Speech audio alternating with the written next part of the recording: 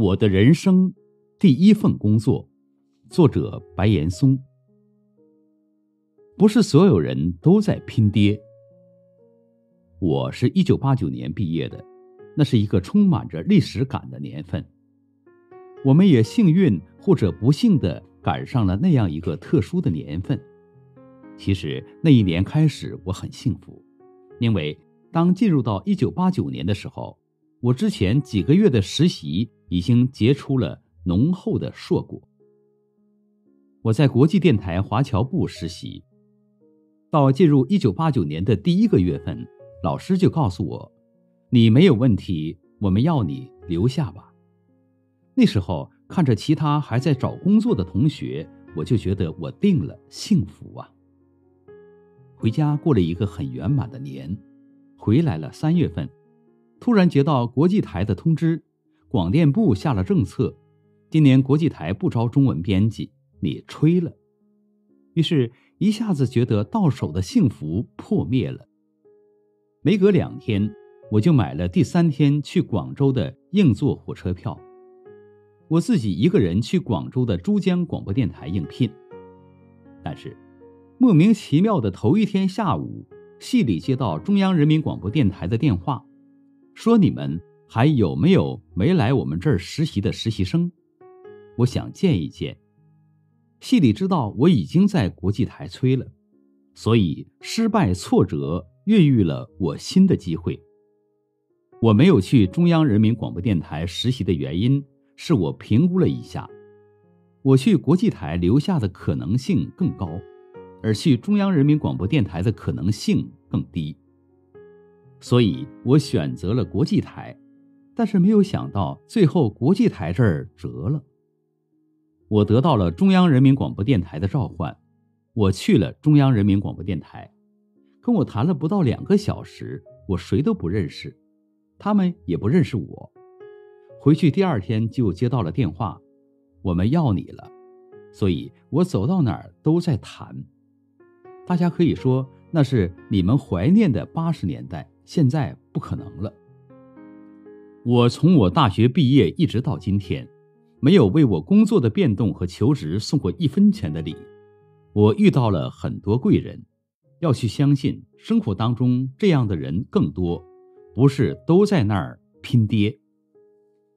我一直在讲的两个笑话，我跟很多人说，我一直在讲两个笑话。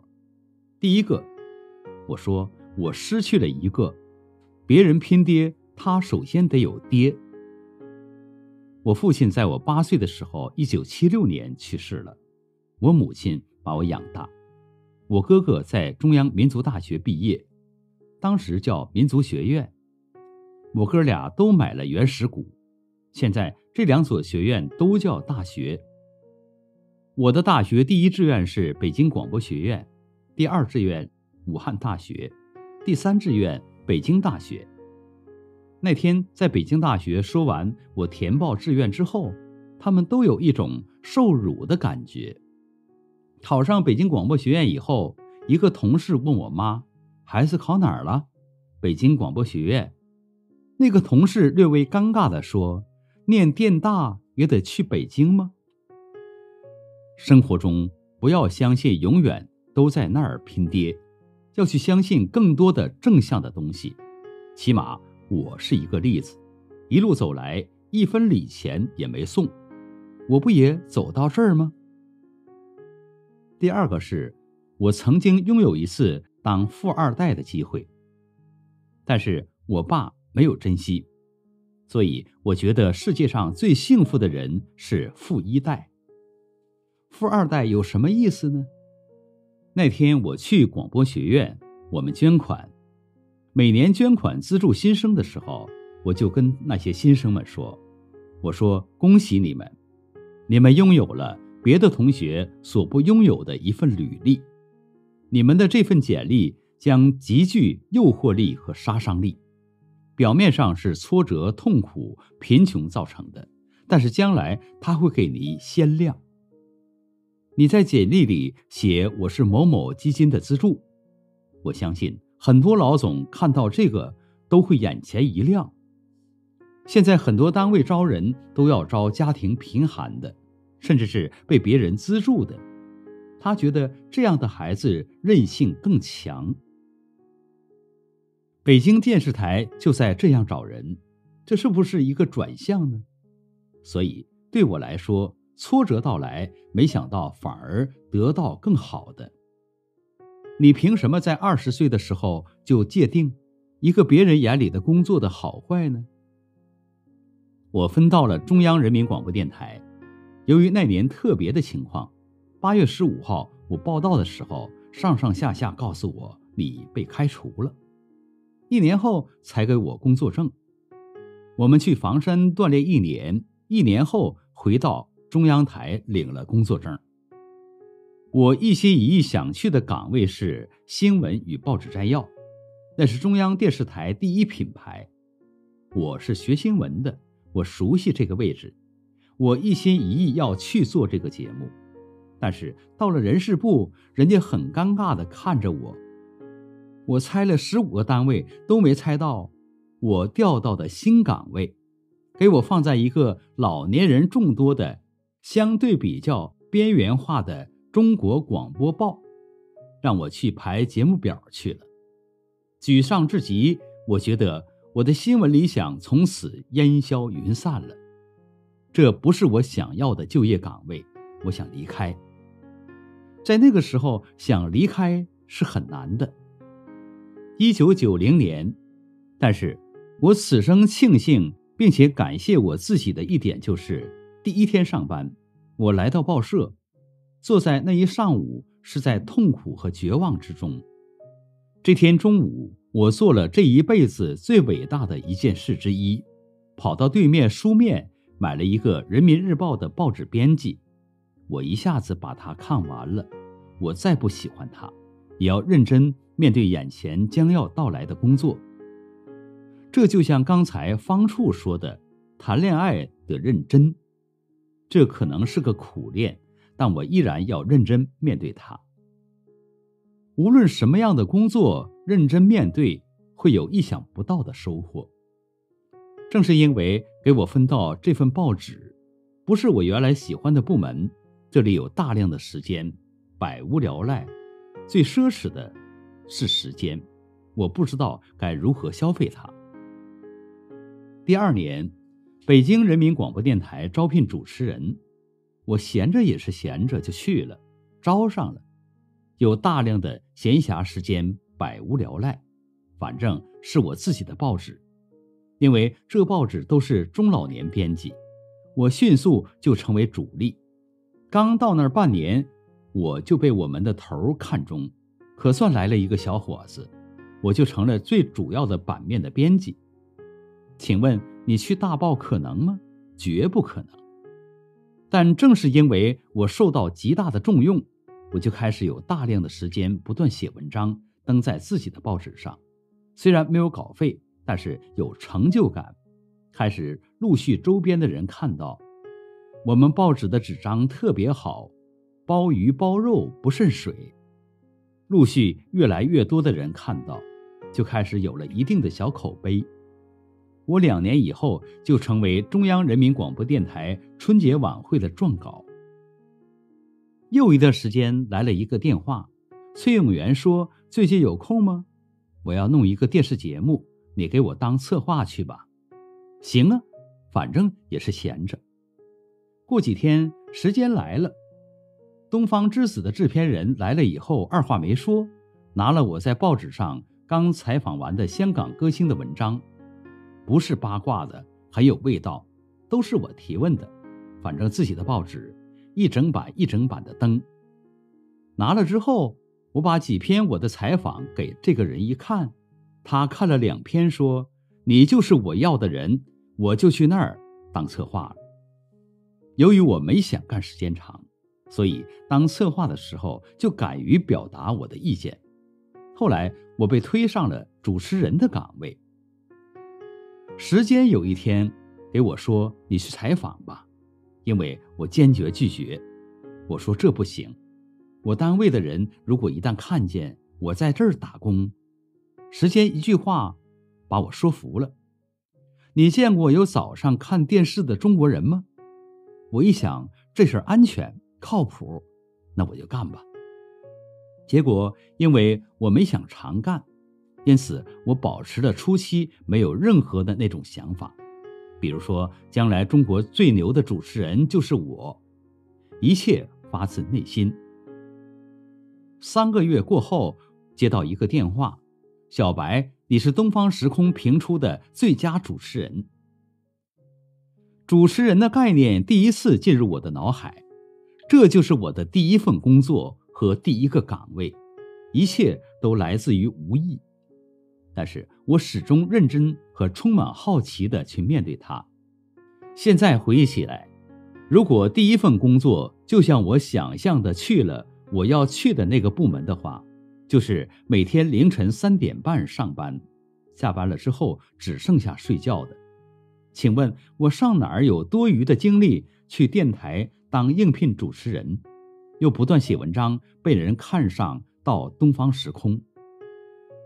我现在可能熬成了中央电视台的副主编，但是一身疾病，时差倒不过来。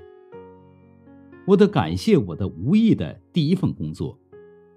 人生最最浪漫的事，从开始就陪着你慢慢变好。很多人问我媳妇：“你眼光怎么那么好？你怎么选中白岩松这个原始股？”因为他跟我谈恋爱的时候，我还在广播报天天快乐的跟同仁喝酒打牌。现在大家理解的是，你应该去找有财富的等等。有一首歌叫《最浪漫的事就是陪着你慢慢变老》，我觉得。人生最浪漫的事，就是我打一开始就陪着你慢慢变好。因此，我觉得第一个要改变的观念，就是一定要再形成一种概念：人一生可能要做好多工作，第一份只是你上马的那一步，你要去积累很多经验。如若它能够成为你一生的工作，也很难得。但是我觉得比例不会太高，而且我回观事实去观察的话，绝大多数的人其实都是经历了很多工作的改变。我觉得这份统计需要去做。当天下都知道美之为美的时候是丑，《道德经》里有一句话：“当天下都知道美之为美的时候是丑。”我很庆幸，我一九八五年填志愿的时候填国民经济管理和法律，当时我们班只有两个人填了新闻，结果我们两个人一个上的是人大新闻系，一个是广播学院新闻系。去年教育部新闻系排名中，这两个新闻系并列第一。很庆幸你没有选择最热门的东西，包括我的就业，中小企业。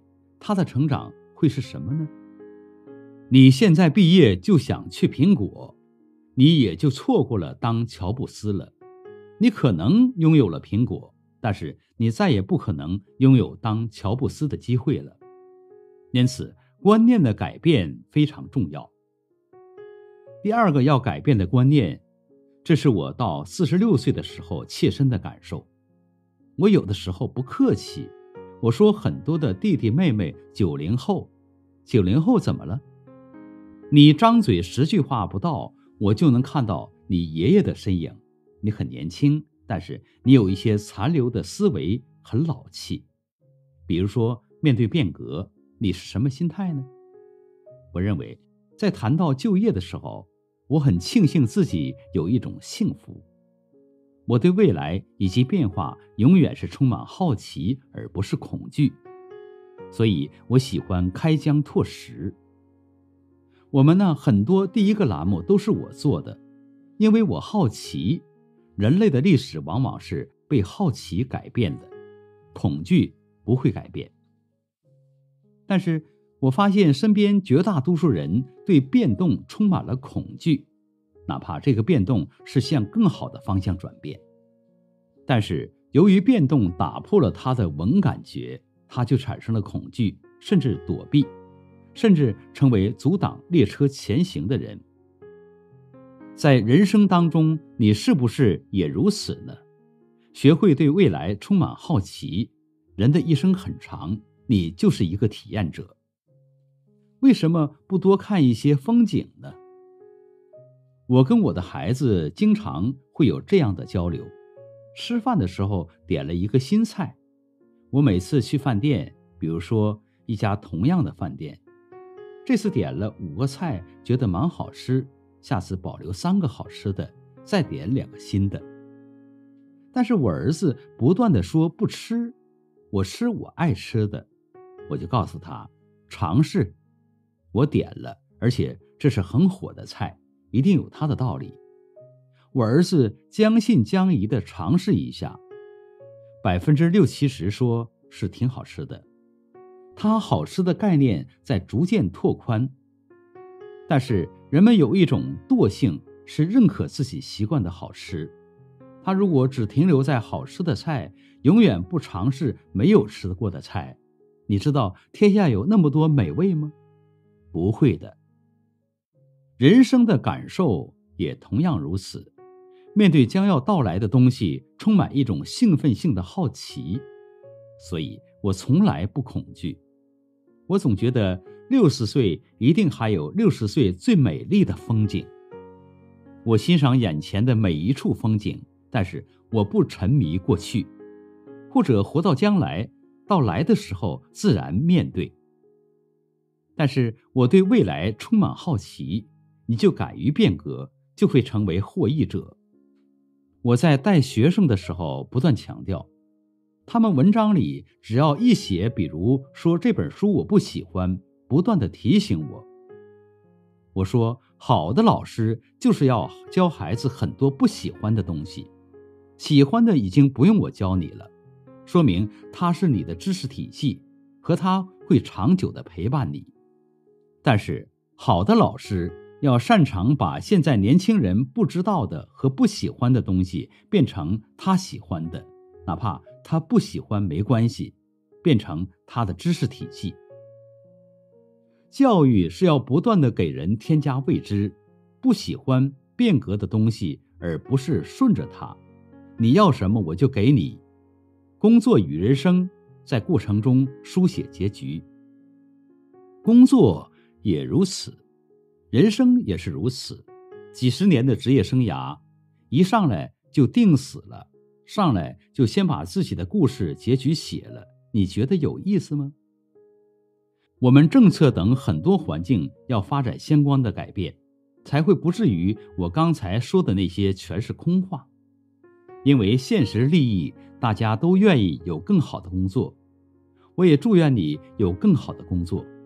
但是带着有更好工作的心，给自己一个不好的工作来了，我也接受，并且充满好奇的改变它。我的历程就是这样的。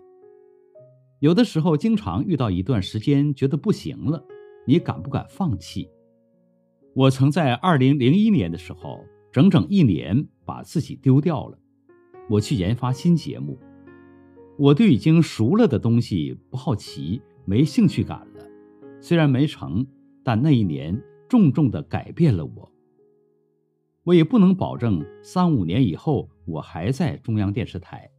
我依然对五十岁新的职业生涯充满好奇，也许在互联网，也许在手机上，其实无所谓。在七十英寸的屏幕主持和五英寸的主持一样，我充满好奇。你们呢？所以，如果你足够强，你就会通过自己的第一份工作的台阶，逐步的向前去走。而且要留百分之十五给上帝、给佛、给真主、给说不清的事情，还有百分之十五，也希望各位充满好奇的面对我们无法掌控的东西。但是我永远是用好奇面对的。人生一路保持对事物的新奇和兴奋。今年过年的时候，有一段时间心情非常沮丧。有一天，忽然豁然开朗，我看到了自己的问题。